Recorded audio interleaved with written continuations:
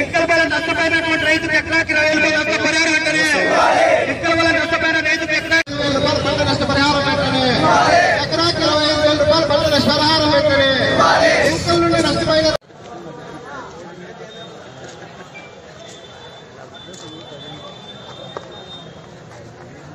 ఇక్కడ ఇబ్బందులు పదే పదే పదే వస్తున్నాయి. ఇప్పుడు చాలా మంది రైతులు అరకొర వర్షం వచ్చిన ఆ కుక్కుళ్ళ పదుల్లోనే కుక్కుళ్ళ పదులు అంటే కొద్దిపాటి పదుల్లోనే ఇతరం అంతా వేస్తున్నారు. విత్తనం వేసే ఈరోజు నిర్మాణం ఉన్న డబ్బులు కాదు. బాకీ వచ్చిన డబ్బులు బ్యాంకులు ఇచ్చిన క్రాప్ లోన్స్ ఇట్లాంటి లోన్స్ అన్ని కూడా పెట్టి విత్తనం కొనుక్కొని వాడుకలు పెట్టి ఈఏపీ మందు విత్తి ఈ విధంగా రకరకాల డబ్బులు పెట్టి ఎకరాకి పది వేల రూపాయల దాకా పెట్టుబడి పెట్టి విత్తనం వేశారు.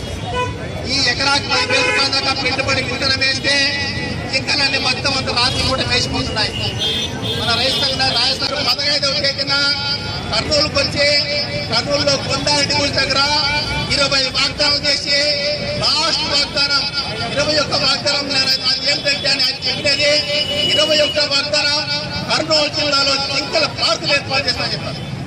ఇంకలన్నీ పట్టుకొచ్చి కొన్ని ఎకరాల స్థలం తీసి దానికి కంచె వేసి మేత వేసి అక్కడే పచ్చికలో తినే పండుకునే విధంగా చేస్తాయి దాని జింకల పార్క్ అంటారు.